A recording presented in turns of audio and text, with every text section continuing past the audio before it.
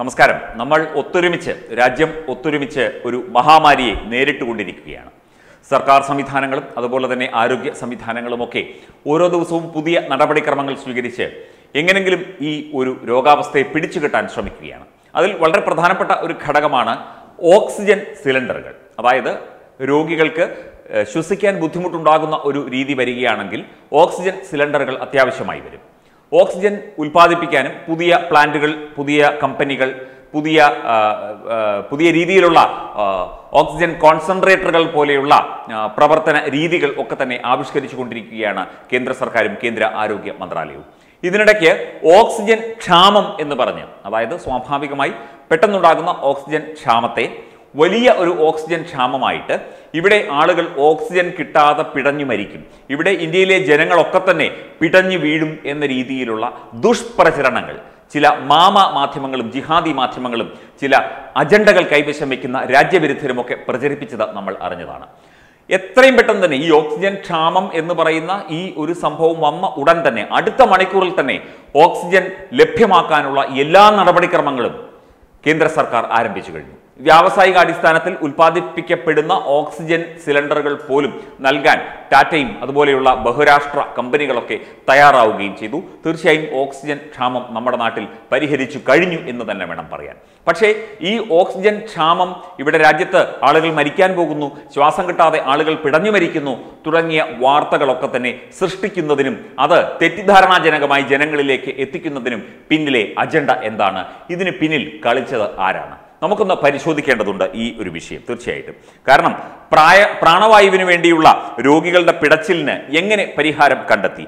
ഒറ്റയടിക്ക് ഉൽപാദനത്തെക്കാൾ കൂടുതൽ ആവശ്യം ഉയർന്നപ്പോൾ പകച്ചു നിൽക്കുകയായിരുന്നില്ല. വിവിധ വിഭാഗങ്ങളെ ഏകോപിപ്പിച്ചുകൊണ്ട് ഉൽപാദനത്തിനും വിതരണത്തിനും നടപടി സ്വീകരിക്കുകയാണ് കേന്ദ്ര സർക്കാർ ചെയ്തത് എന്ന കാര്യം നമുക്കെല്ലാവർക്കും അറിയാം. യഥാർത്ഥത്തിൽ ഓക്സിജൻ ക്ഷാമമാണോ അതോ വിതരണ പ്രതിസന്ധിയാണോ ഇന്ത്യ നേരിട്ടത് എന്ന ചോദ്യം ഉയരുന്നു കഴിഞ്ഞ രണ്ടാഴ്ചയായി ട്വിറ്റർ ടൈം ലൈനുകളിലും വാട്സപ്പ് ഗ്രൂപ്പുകളിലും ഓക്സിജന് വേണ്ടിയുള്ള എസ് സന്ദേശങ്ങൾ കൊണ്ട് നിറഞ്ഞിരിക്കുന്നു. രോഗികളുടെയും അവരുടെ നിസ്സഹാരായ നിസ്സഹായരായ കുടുംബങ്ങളുടെയും ഫോട്ടോകൾ ലോകമെമ്പാടും നിറഞ്ഞു.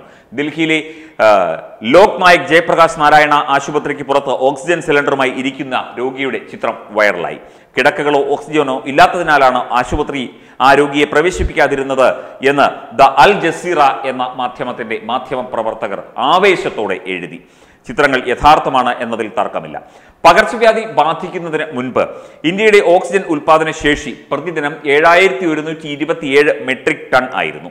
ആരോഗ്യ മന്ത്രാലയം ഏപ്രിൽ പതിനഞ്ചിന് വാർത്താക്കുറിപ്പിൽ പറഞ്ഞു രണ്ടായിരത്തി ഇരുപത്തിയൊന്ന് ഏപ്രിൽ ഇരുപത്തിരണ്ടിന് രാജ്യത്തെ മെഡിക്കൽ ഓക്സിജൻ ഉപഭോഗം മൂവായിരത്തി എണ്ണൂറ് ക്ഷമിക്കണം മൂവായിരത്തി എണ്ണൂറ്റി ഇരുപത്തിരണ്ട് മെട്രിക് ടൺ ആയിരുന്നു. അതായത് ദൈനംദിന ഉൽപാദന ശേഷിയുടെ അൻപത്തിനാല് ശതമാനം എന്ന് മന്ത്രാലയം അവകാശപ്പെട്ടു. വ്യാവസായിക ഓക്സിജൻ സ്റ്റോക്കുകൾ അയ്യായിരം മെട്രിക് ടണ്ണിന്റെ ടണ്ണിൽ കൂടുതലുണ്ട്.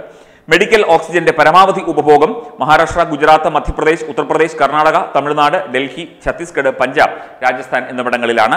ഡിമാൻഡിൽ അസാധാരണമായ വർധനമുണ്ടായതും മെഡിക്കൽ ഓക്സിജൻ ഉൽപാദനമില്ലാത്ത സംസ്ഥാനങ്ങളുടെ ഡിമാൻഡിൽ കുത്തനെ വർധനമുണ്ടായതും ആരോഗ്യ മന്ത്രാലയം പറഞ്ഞു എങ്കിലും വർദ്ധിച്ചു വരുന്ന ആവശ്യം നിറവേറ്റാൻ ആവശ്യമായ വിതരണമുണ്ടായിരുന്നു എന്ന കണക്കുകൾ വ്യക്തമാക്കുന്നു. കേസുകളുടെ എണ്ണം അപ്രതീക്ഷിതമായി ഉയർന്നതുകൊണ്ട് രാജ്യമെങ്ങും അപ്രതീക്ഷിതമായ ഡിമാൻഡാണ് ഓക്സിജൻ അനുഭവപ്പെട്ടത്. നമുക്ക് എല്ലാവർക്കും അറിയാം.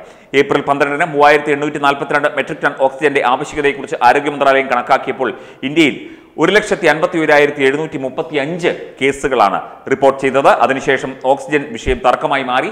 ഏപ്രിൽ ഇരുപത്തിയഞ്ച് രാവിലെ ഒരു പത്രത്തിൽ ഡൽഹി സർക്കാർ ഓക്സിജന് വേണ്ടി മറ്റൊരു പരസ്യം നൽകി. ഡൽഹിയിൽ ഓക്സിജൻ തീർന്നു. നിങ്ങൾക്കോ നിങ്ങളുടെ സംഘടനയ്ക്കോ ഓക്സിജൻ ഉണ്ടെങ്കിൽ ടാങ്കറുകളിൽ ഓക്സിജൻ ഞങ്ങളെ ഞങ്ങളെ അറിയിക്കുക ഞങ്ങളിലേക്ക് എത്തിക്കുക എന്നൊക്കെ പറഞ്ഞ്. എന്തുകൊണ്ടാണ് ആശുപത്രികളിൽ ഓക്സിജൻ ക്ഷാമം അനുഭവപ്പെട്ടത് എന്നുകൂടി നമുക്ക് പരിശോധിക്കേണ്ടതുണ്ട്. രണ്ട് ദിവസം മുൻപ് പ്രധാന ആശുപത്രികളായ ഗുരുഗ്രാമിന്റെ മാക്സ് ഹോസ്പിറ്റലും ഡൽഹിയിലെ മൂൽചന്ദ് ഹോസ്പിറ്റലിലും ഓക്സിജൻ ക്ഷാമം സംബന്ധിച്ച് ട്വിറ്ററിലൂടെ ഒരു എസ് ഒ എസ് അയച്ചു. തുടർച്ചയായ മൂന്നാം ദിവസമാണ് ആശുപത്രികൾ ഓക്സിജൻ തീർന്നു എന്ന് പരാതിപ്പെടുന്നത്. ഞങ്ങളുടെ ദൈനംദിന ഓക്സിജൻ വിതരണ സമയത്ത് എത്തിച്ചേരുന്നു എന്ന് ഉറപ്പാക്കുന്നതിന് ഞങ്ങൾ രാവിലെ മുതൽ ഇന്നോക്സ് എയർ പ്രോഡക്ട്സുമായി ബന്ധപ്പെടാൻ ശ്രമിക്കുന്നു. ഇതുവരെ പ്രതികരണം ലഭിച്ചില്ല. അവരുടെ അനുഭവങ്ങളാണ്. അപ്പോൾ ഈ ഓക്സിജൻ ക്ഷാമം എന്നതിലുപരി ഓക്സിജൻ വിതരണത്തിലെ അപാകതയല്ലേ ഇവിടെ സംഭവിച്ചത് എന്ന് ചിന്തിക്കേണ്ടിയിരിക്കുന്നു.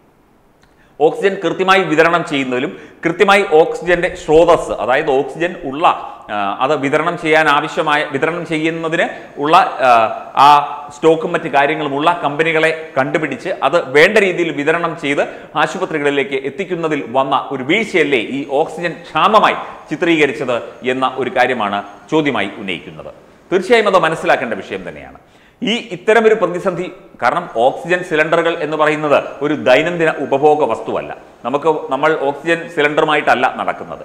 ഇത്തരം കേസുകളുടെ എണ്ണം ക്രമാതീതമായി വർദ്ധിക്കുകയും ഇത് ഈ രീതിയിൽ ഒരു പ്രായോഗിക ബുദ്ധിമുട്ട് ഉണ്ടാവുകയും ചെയ്യുമ്പോൾ സാധാരണഗതിയിലുണ്ടായ ഒരു ഓക്സിജൻ വിതരണത്തിലെ അപാകത മാത്രമേ അല്ലെങ്കിൽ ഒരു വീഴ്ച മാത്രമേ ഇവിടെ ഉണ്ടായുള്ളൂ. പക്ഷേ ഇതിനെയൊക്കെ ഊതിപ്പെരിപ്പിച്ച് കാട്ടി ഇതിനെയൊക്കെ ഇല്ലാത്ത വാർത്തകളും പൊടിപ്പും തൊങ്ങലും ചേർത്ത് ഈ രീതിയിൽ അവതരിപ്പിച്ച് വിദേശ വിദേശത്തുള്ള ഭാരതീയർ അടക്കമുള്ള ആളുകളെ തെറ്റിദ്ധരിപ്പിക്കുന്നതിനും അവർക്ക് അവരിൽ ആശങ്ക ജനിപ്പിക്കുന്നതിനും വേണ്ടി ഇവിടുത്തെ ഒരു സംഘം നിലകൊണ്ടു എന്ന സംശയമാണ് ഇപ്പോൾ ഉള്ളത് കാരണം എന്ത് ഇവിടെ കേന്ദ്ര സർക്കാർ അല്ലെ പ്രധാനമന്ത്രി നരേന്ദ്രമോദിക്കെതിരെ എന്തെങ്കിലും ഒരു കാരണവും കാര്യവും നോക്കി നടക്കുകയായി ഇവർ. കാരണം അങ്ങനെയാണല്ലോ ഇവിടെ കേന്ദ്ര സർക്കാരിനെതിരെ നരേന്ദ്രമോദിയെ കുറ്റപ്പെടുത്താനും നരേന്ദ്രമോദിയെ വലിച്ചു താഴെയിടാനും നരേന്ദ്രമോദിയെ ചീത്ത പറയാനും തെറി പറയാനും ഒരു കാരണം നോക്കി നടക്കുന്ന ആളുകൾക്ക് ബഹുസന്തോഷമായി ഈ വിതരണത്തിൽ വീഴ്ച. കേരളത്തിലും മറിച്ചല്ല സംഭവിക്കുന്നത്. ഇവിടെ ഇവിടെ ഒരുപാട് പേർ ഇപ്പൊ കേരള സർക്കാർ ഇപ്പൊ കഴിഞ്ഞ ദിവസം പ്ലക്കാർഡും പിടിച്ചുകൊണ്ടൊക്കെ മുഖ്യമന്ത്രിയുടെ മകളും മരുമകനും ഒക്കെ ഇരിക്കുന്നത് കണ്ടല്ലോ. സൗജന്യമായി കൊടുത്ത പിണറായി വിജയൻ സർക്കാരിന് അഭിവാദ്യം അർപ്പിച്ചുകൊണ്ട് എന്താ പിണറായി വിജയൻ സർക്കാർ കമലേച്ചിയുടെ വടകരയിലെ വീട്ടിൽ നിന്ന് കൊണ്ടുവന്നാണോ ഈ വാക്സിൻ എല്ലാവർക്കും സൗജന്യമായി കൊടുത്തത്? ഒരിക്കലുമല്ല. കേന്ദ്ര സർക്കാർ സൗജന്യമായി കൊടുത്തു. അതിൽ തന്നെ അപാകതകളും ഇവിടെ വെട്ടിപ്പും തട്ടിപ്പും നടന്നു. ഇവിടെ സ്വകാര്യ ആശുപത്രികൾക്ക് നൂറ്റി അമ്പത് രൂപയ്ക്ക് കിട്ടുന്ന ഓക്സിജൻ നൂറ്റി അമ്പത് രൂപയ്ക്ക് ഇത് വിറ്റ് സ്വകാര്യ ആശുപത്രികളെ സഹായിക്കാൻ ശ്രമിച്ചു. അതൊക്കെ അവിടെ നിൽപ്പുണ്ട്. അപ്പോൾ ഈ രീതിയിൽ ഇവിടെ പ്രധാനമന്ത്രിയെയും ഭരണകൂടത്തെയും ഇകഴ്ത്തിക്കാട്ടാനും ചവിട്ടിത്തേക്കാനുമുള്ള എല്ലാ അവസരങ്ങളും രാജ്യദ്രോഹികൾ ഉപയോഗിക്കുന്നു. അതാണ് ഈ വാക്സിൻ വിതരണത്തിലും അതുപോലെ തന്നെ ഓക്സിജൻ വിതരണവുമായി ബന്ധപ്പെട്ടുമൊക്കെ നമ്മൾ കണ്ടത് എന്ന് വേണം മനസ്സിലാക്കാൻ. ഒരിക്കലും ഇതൊന്നും നമുക്ക് അംഗീകരിക്കാൻ പറ്റില്ല. ഇത് മാത്രമല്ല ഇതിന് അടുത്ത അടിയന്തര പരിഹാരമായിട്ട് സൈനിക ഹെലികോപ്റ്ററുകളും സൈനിക വിമാനങ്ങളും ഉൾപ്പെടെ വിവിധ സേവന ഗ്രൂപ്പുകൾ ഉൾപ്പെടെയുള്ള വിഭാഗങ്ങൾ ഓക്സിജൻ സിലിണ്ടറുമായി ഷട്ടിൽ സർവീസുകൾ ആരംഭിച്ചു ഓരോ സംസ്ഥാനത്തേക്കും. ഇതൊന്നും ആരും റിപ്പോർട്ട് ചെയ്യില്ല. ഇതൊന്നും ആരും കാര്യമായി ഒരു ഒരു വീഴ്ച ഉണ്ടായി കഴിയുമ്പോൾ ഒരു ബുദ്ധിമുട്ടുണ്ടായി കഴിയുമ്പോൾ രാജ്യത്തിനും രാജ്യത്തിന്റെ ഭരണകൂടത്തിനും ഒപ്പം നിൽക്കേണ്ടവരാണ് രാജ്യത്തെ പൗരന്മാരും രാജ്യത്തെ സംഘടനകളും. അതിൽ ഒരു വിഭാഗമാണ് ഇത്തരത്തിൽ രാജ്യത്തിനെതിരെ തിരിഞ്ഞിരിക്കുന്നത്. എന്തായാലും ഓക്സിജൻ ക്ഷാമം ക്ഷാമം എന്ന് ഇനി പറയില്ല. കൃത്യമായി വിതരണ ശൃംഖല ആരംഭിച്ചു കഴിഞ്ഞു. കൃത്യമായൊരു വിതരണ രീതി നടപ്പിലാക്കി കഴിഞ്ഞു.